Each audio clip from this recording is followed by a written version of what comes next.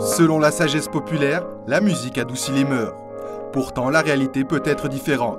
Christophe Studer et son équipe en ont fait l'expérience lundi matin sur le lac des Brenets lors de la deuxième session d'enregistrement de l'album Slow Ballads Volume 2.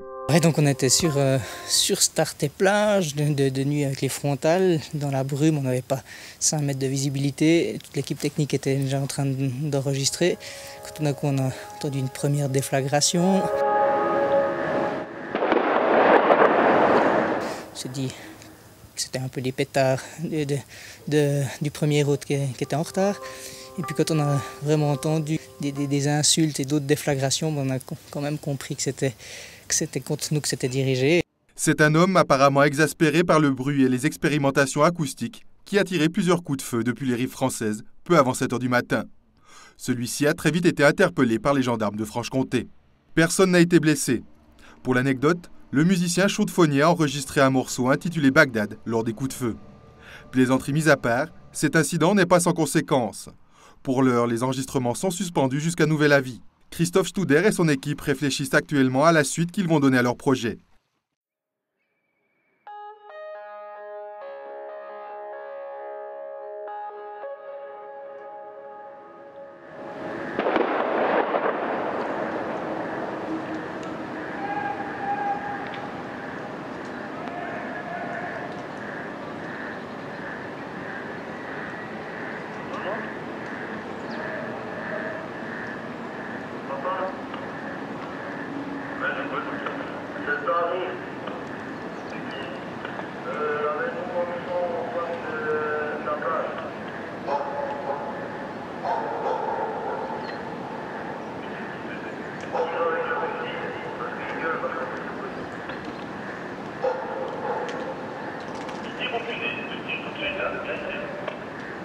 Euh, non, mais nous, on avait un écho, là, mais c'est lui, il a gueulé, il a gueulé.